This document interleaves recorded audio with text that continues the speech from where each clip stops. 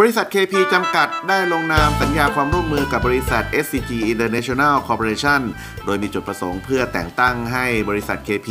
ที่มีความเชี่ยวชาญทางการผลิตอุปกรณ์เกษตร เป็นตัวแทนจำหน่ายรถขนส่งสินค้าเกษตร ภายใต้แบรนด์ A บวกกราว ในลาวอย่างเป็นทางการ ซึ่งทั้งสองบริษัทเห็นโอกาสทางธุรกิจในตลาดขนส่งสินค้าเกษตรของสปปลาว ที่มีมูลค่าถึง 1.5 พันล้านกีบ หรือประมาณ 2.2 ล้านบาท โดยตลาดสินค้าการเกษตรเป็นตลาดที่เติบโตขึ้นอย่างมาก เมื่อเทียบกับประเทศอื่น ๆ ในอาเซียน ดังนั้นครับ บริษัท KP และบริษัท SCG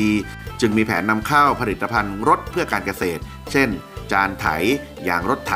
เข้ามาจำหน่ายในสปปลาว เพื่อส่งเสริมให้เกษตรกรลาวสามารถขนส่งสินค้าไปขายอย่างพื้นที่ห่างไกลได้สะดวกมากขึ้น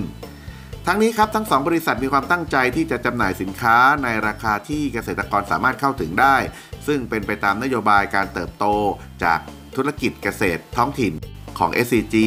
ที่ต้องการช่วยให้เกษตรกรเข้าถึงสินค้าที่มีคุณภาพ และได้รับโอกาสสร้างเศรษฐกิจแบบครอบครัวที่เป็นพื้นฐานของการพัฒนาประเทศ